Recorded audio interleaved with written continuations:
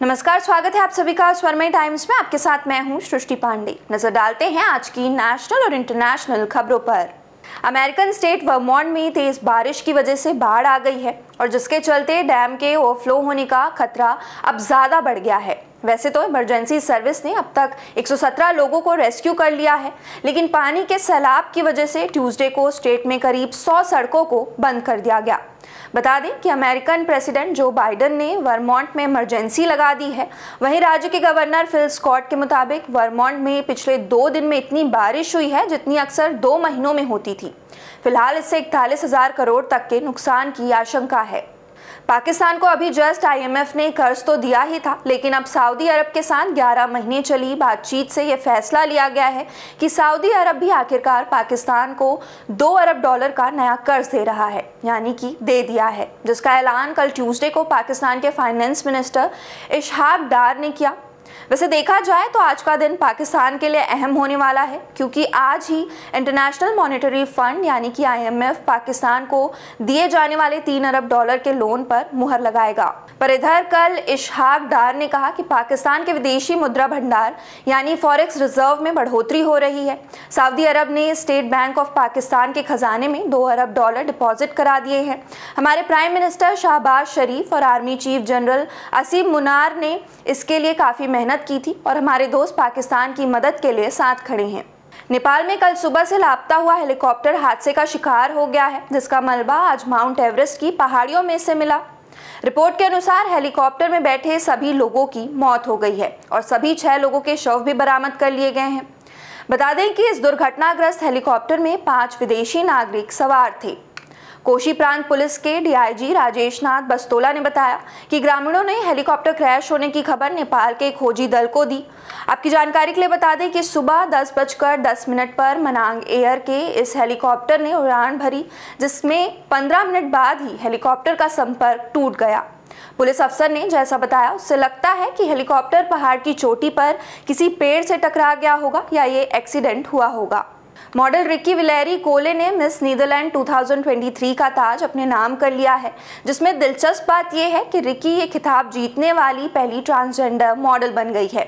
और इतिहास में ऐसा पहली बार हुआ है कि किसी ट्रांसजेंडर महिला को ताज पहनाया गया हो। बता दें कि इस जीत के साथ ही मॉडल रिकी विलेरी कोहली ने बहत्तरवें मिस यूनिवर्स में कंटेस्टेंट के रूप में अपनी जगह फिक्स कर ली है।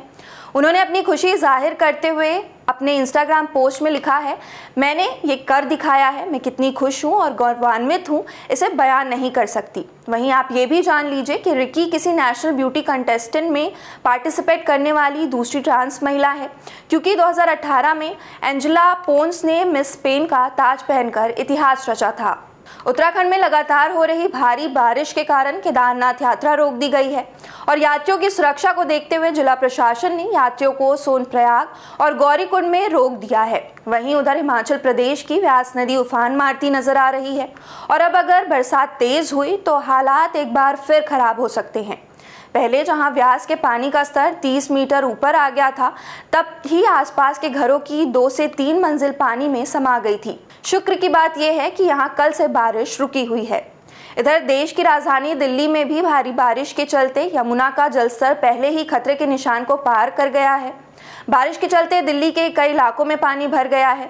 प्रशासन ने बैठक की है और इस समस्या से जल्द निपटने की तैयारी की जा रही है। वहीं अगर अब छत्तीसगढ़ की बात करें तो यहाँ काले बादल ज़रूर छाए हैं, पर बारिश होने की संभावना कम है।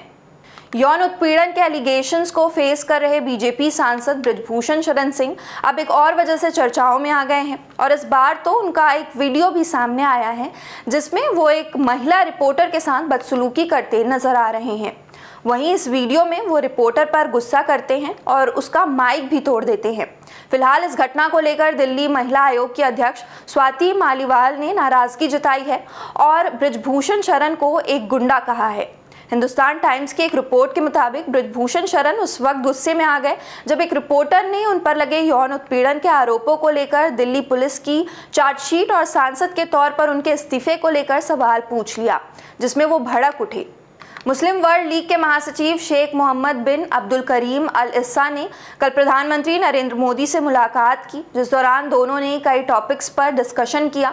पीएमओ ने कहा पीएम नरेंद्र मोदी ने मुस्लिम वर्ल्ड लीग के महासचिव और मुस्लिम विद्वानों के संगठन के अध्यक्ष शेख मोहम्मद बिन अब्दुल करीम अल इस्सा से मुलाकात की और दोनों ने अंतर्धार्मिक सद्भाव, शांति को आगे बढ़ाने और मानव प्रगति की दिशा में काम करने के विभिन्न पहलुओं पर व्यवहारिक चर्चा की। बता दें कि भारत की यात्रा पर आए अल इस्सा ने दिल्ली में खुसरो फाउंडेशन और इंडिया इस्लामिक कल्चरल सेंटर के आयोजित एक कार्यक्रम को भी संबोधित किया और अल इस्सा भारत सरकार के आधिकारिक निमंत्रण पर यहाँ आए हैं।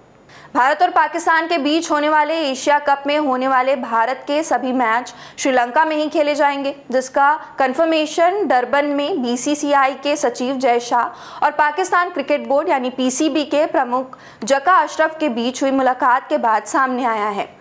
हाइब्रिड मॉडल के तहत खेले जाने वाले इस बार के एशिया के आयोजन का अधिकार पाकिस्तान के पास है, लेकिन वह अपने घर पर सिर्फ़ चार मैचों का आयोजन करेगा, जबकि टूर्नामेंट के बाकी मैच श्रीलंका में खेले जाएँगे। आईपीएल चेयरमैन अरुण धूमल ने अपने बयान में कहा कि भारतीय टीम एशिया कप में अपने सभी मुकाबले श्रीलंका में ही खेलेगी, जिसमें स्टार्टिंग के चार मैच पाकिस्तान में होंगे और फिर बाकी सब श्रीलंका में खेले जाएँगे, जिसमें भारत पाकिस्तान के बीच होने वाले दो मैच भी शामिल हैं। यदि दोनों टीमें फाइनल में पहुँचती है तो तीसरा मुकाबला भी श्रीलंका में ही खेला जाएगा। देश प्रदेश की सभी अहम खबरों से जुड़े रहने के लिए इस वीडियो को लाइक और शेयर करें। साथ ही हमारे चैनल को सब्सक्राइब करना ना भूलें।